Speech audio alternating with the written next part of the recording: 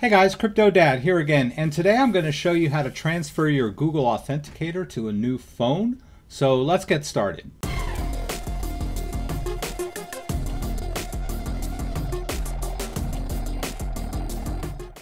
Alright, so Google Authenticator has made it a lot easier to transfer your codes over to a new phone. They have a new export feature, so I'm going to demonstrate that.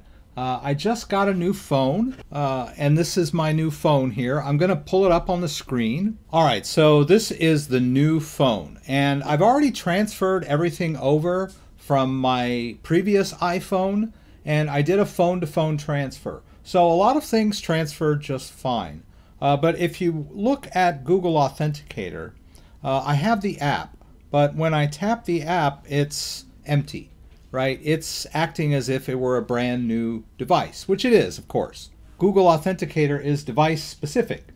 All right, so uh, we'll go through this uh, beginning here. These screens just explain how to add a new code to your Google Authenticator. Uh, and we can do that, but we have a lot of existing codes on our old phone.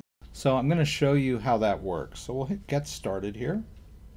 And it's ready for me to sign a Q, uh, scan a QR code. So, but what I'm going to do is show you my old phone, which is this phone here. All right, now here on the old phone, if we open up my Google Authenticator, you can see that I have all of the codes. So basically, I just want to get these codes onto the new phone. So there's a new feature in Google Authenticator. Now, if yours does not look like this, then I would suggest updating your uh, Google Authenticator if you don't have automatic updates on so that you're using the latest version of Google Authenticator. Um, I have automatic updates on, so it just auto updated uh, not too long ago, right? This fairly new version of Google Authenticator, but much easier than the old way, right? The old way we had to do one at a time. So let's start off. We're going to tap those three dots up there in the top, and we're going to choose Export Accounts. We're going to hit Continue, all right, and it can only do 10 at a time. Uh, but that's fine. I probably have about uh, 30 or maybe 40 on here. Maybe just 30, I'm not sure.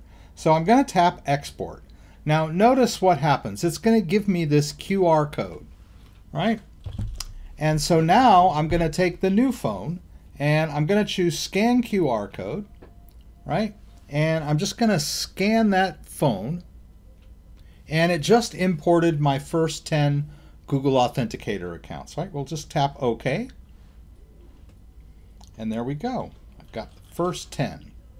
Now I want to uh, import the next 10. I'll hit Done on the new phone. Uh, it wants to know if I want to remove them. I'll go ahead and test one of mine out quickly here. I'm certain that this works fine, but I just want to make sure. I'll go ahead and sign into a cryptocurrency exchange that has Google Authenticator set up. All right, and then I'm going to use my new phone and see how that goes, right? Verify. And all is right with the world, right? Okay, so uh, I'm not going to go through and test all 10 of them. You can if you're meticulous, uh, but it will make it easier if we simply remove the accounts from the new from the old phone. Then we can just hit the first 10 so I'm going to go ahead and hit remove accounts. And it asks me if there's more. And I'm like, yeah, there are. So I'll go ahead and continue with my export. I'll hit export and then it catches the next 10. Right? I'll hit export uh, down there on the right bottom and I get another QR code. All right, so let's just open up the new phone. Uh, now we're on the new phone and I'm just going to hit that plus down there in the bottom right corner on the new phone. Right? And I'm going to choose scan QR code. I can actually scan it from the computer. it's going to import another 10 accounts, which is cool. We're good there. All right, now go back to the old phone and hit done. And it wants to know if I want to remove those accounts. I'll say yes. All right, and there's more accounts on this device, so I'll go ahead and continue by hitting export accounts. It's going to grab the next 10. Notice that uh, there's only two left there at the bottom after this. All right, so we'll hit export again. And then I'm over at the new phone now. I'm going to hit the plus down in the right corner there. We'll hit plus, scan QR code. I'll uh, scan the QR code from my computer again. I've imported another 10 accounts. There we go. Now I can hit done on the old phone. I'll go ahead and remove those accounts. And then there's two left, so I'll hit export again. Should get those last two for me. We'll hit export. All right, this QR code isn't as big as the others because uh, it's only got two accounts coded into it. I'll hit the plus on the new phone down in the bottom right corner. I'll choose scan QR code. Go ahead and scan that code from the computer. I imported two accounts and I'm done. Right? Easy peasy.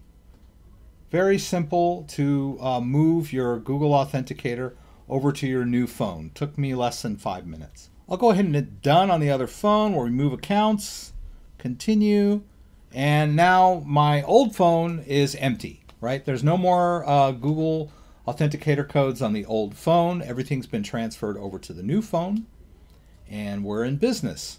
So if you have any questions about anything I did, please throw them up in the comments and I'll do my best to get them answered. If you like this video, give me a thumbs up. If you'd like to subscribe to my channel, I would appreciate it. When you subscribe, there's a little bell that you can click. That will allow you to be alerted whenever I post new content. Once again, thanks for joining me and hope to see you again soon.